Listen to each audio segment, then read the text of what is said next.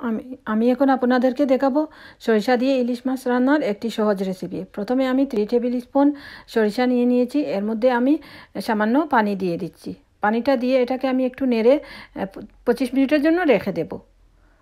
আর আপনি চাইলে সাদা যে সরিষা আছে, এটাও আপনি অ্যাড করতে পারেন। One spoon one and half spoon সাদা সরিষাটা দিয়ে দিতে পারেন।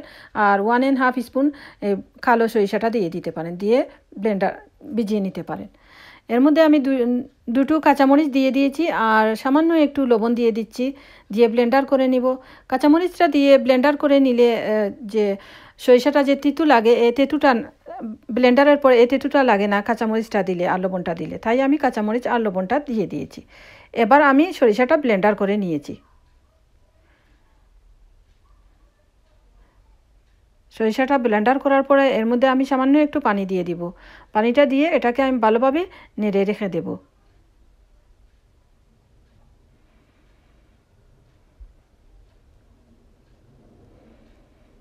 এটা আমার ইলিশা মাছ। এবার আমি একটা ফ্রাইং প্যান চুলায় বসিয়ে দেব। তারপর আমি পরিমাণ মতো সরিষার তেল দিয়ে দেব। থ্রি টেবিল স্পুন সরিষার তেল দিয়েছি। সরিষার তেল দিয়ে রান্না করলে টেস্টটা দারুণ হয়। তাই আমি সরিষার তেল দিয়ে রান্না করছি। আর থ্রি টেবিল স্পুন পেঁয়াজ বাটা দিয়ে দিচ্ছি।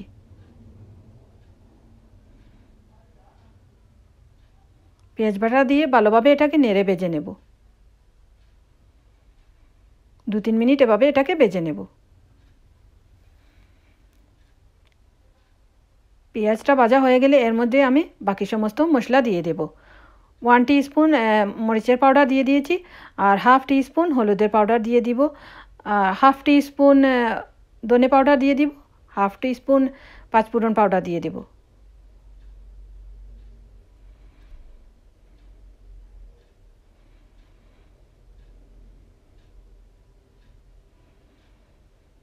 দিয়ে এটাকে এবার ভালোভাবে নেড়ে নেব।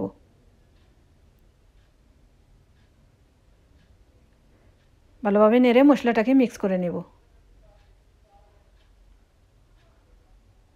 তারপরে এর মধ্যে এবার আমি half teaspoon paprika powder দিয়ে দিয়েছি। দিয়ে এটাকে ভালোভাবে আমি নেড়ে নেব। দু তিন মিনিট এভাবে নেড়ে বেজে নেব। তারপর আমি সামান্য একটু পানি এর মধ্যে দিয়ে দেবো।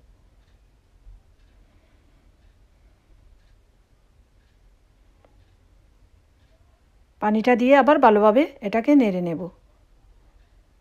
নেড়ে মশলাটাকে ভালোভাবে বেজে নেব।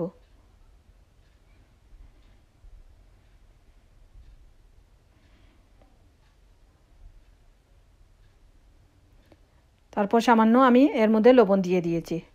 লবণটা আপনি পরিমাণ মতো দিয়ে দেবেন। আর খেয়াল রাখতে হবে, আপনি আপনি যে ব্লেন্ডারের সময় আপনি সামান্য লবণ দিয়ে দিয়েছেন, এই আন্দাজে আপনি পরিমাণ মতো লবণটা মশলার মধ্যে দিয়ে দেবেন। এবার এর মধ্যে আবার আমি পানি, সামান্য পানি অ্যাড করে নেব। সামান্য পানি দিয়ে আবার এটাকে আমি ভালোভাবে নেড়ে নেব। এবার আমার মশলাটা হয়ে গেছে।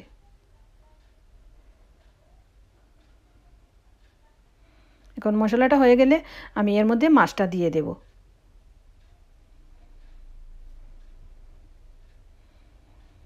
মাছটা দিয়ে আমি এভাবে চার পাঁচ মিনিট রেখে দেব। চার পাঁচ মিনিট পর এটাকে আমি উল্টে দেব। হালকাভাবে এটাকে উল্টে দেব যাতে এটা ভেঙে না যায়। ইলিশা মাছ একটু নরম সেজন্য একটু হালকাভাবে এটাকে উল্টে দিতে হবে। এটাকে উল্টে আমি এর মধ্যে এবার মাছটার যে সরিষার যে পেস্ট করে রেখে দিয়েছিলাম, এটা সরিষা বাটাটা দিয়ে দেব। দিয়ে এটাকে আমি হালকাভাবে নেড়ে দেবো এবার। যাতে সরিষার সাথে ইলিশ মাছটা লেগে যায়। এবার এটাকে আমি ভালোভাবে নেড়ে দিয়েছি।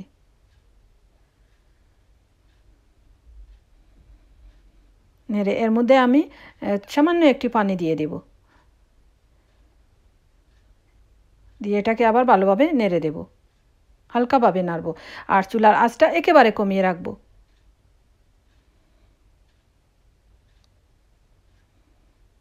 এবার এটাকে হালকাভাবে আমি উল্টে দেব।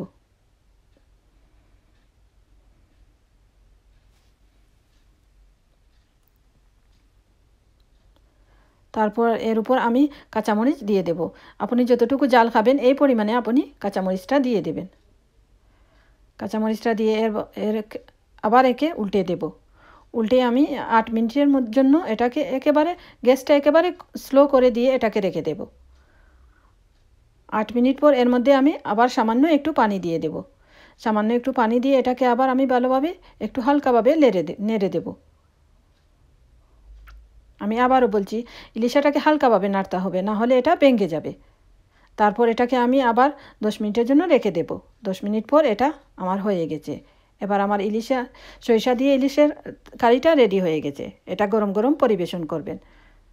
আমাদের বাঙালিদের জন্য এটা খুব পছন্দের একটা খানি। আমার ভিডিওটা ভালো লাগলে লাইক কমেন্ট সাবস্ক্রাইব করবেন।